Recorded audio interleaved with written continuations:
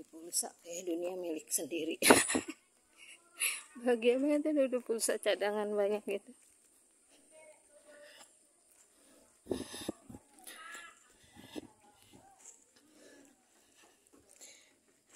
Jadi pas terakhir itu bambu apus. Bambu apus. Teteh terus tutup warungnya tutup. Lain terus di bojong mm -mm. Mangga teh. You know rame amat? Nu hajat oh. Halal bihalal.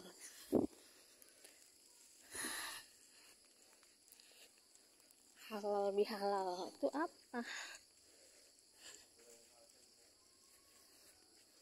Wah, yang dagang banyak. Kayak layar tancap kemarin nih.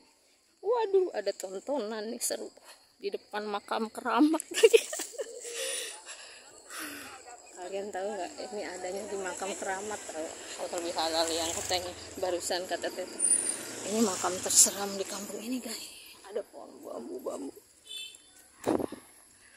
Ah, bisa jajan lagi aja gua nih. Ada lemper warung yang kemarin si mamang di layar tancap sama kami ayam.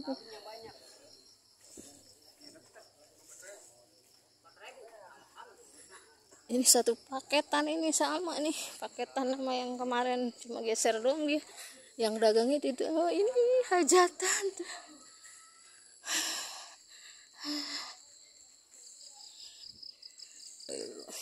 Sampai lari nganterin sop gua ketinggalan gara-gara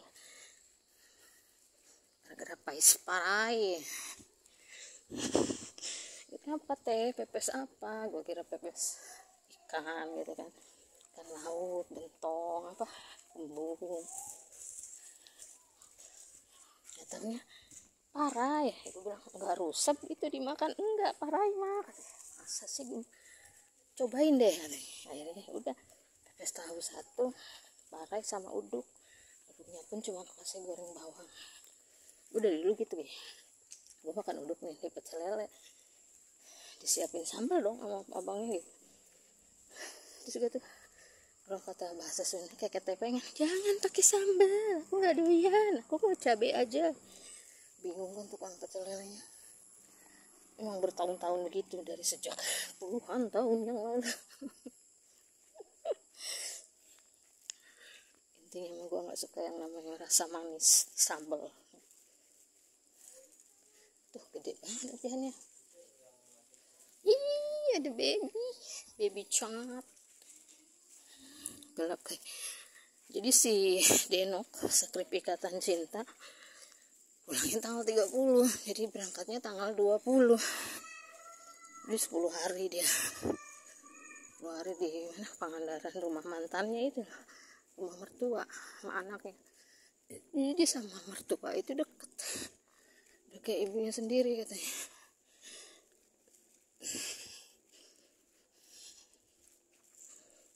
Untung hujannya gak gede ya Allah kau melindungiku kalau hujannya gede nggak bisa pulang. Ada seblak baru di sini besok beli.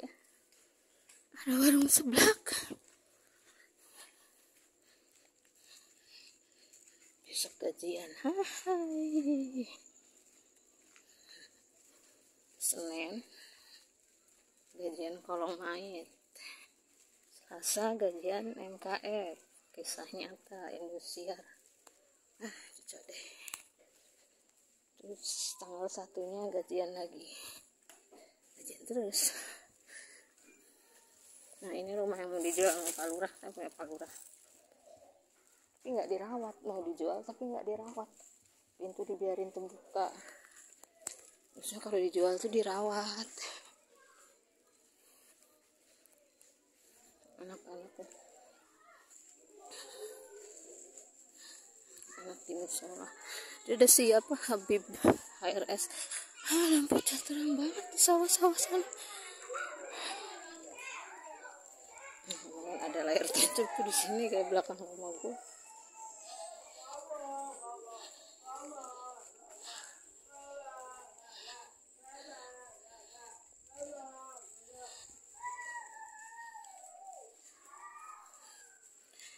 datang datang ke rumah. Tuh kita review pais parai oke guys. Pais parai is the best ayo ayo ya si uduk nyiapin pais parai unik sih itu dia belinya juga nggak di pasar. Belinya di mana? Lucu ke orang Sunda gitu. belinya di mana? Pasar. Enggak ada yang nganter. Oh dapat nyair kali ya dari sawah nggak lu nyair nyair itu zaman gua kecil. Apa bambu di anyam gitu kecil-kecil. Wah seneng banget dunia indah kalau udah punya begituan di kampung. Nah terus ngambil ikan tuh kayak gituan jadi ikannya keambil kayak jaring gitu jaring kan lebih kecil dan lembut kalau itu berbentuk seperti wadah. Kalau kayak tampah tampah kali ini lebih cekung. Sama sampai kita di rumah? Nih pemelihara kucing gila nih tuh. Kucing dikurung-kurungin. Tuh. Oh, maksudnya kucing dikurung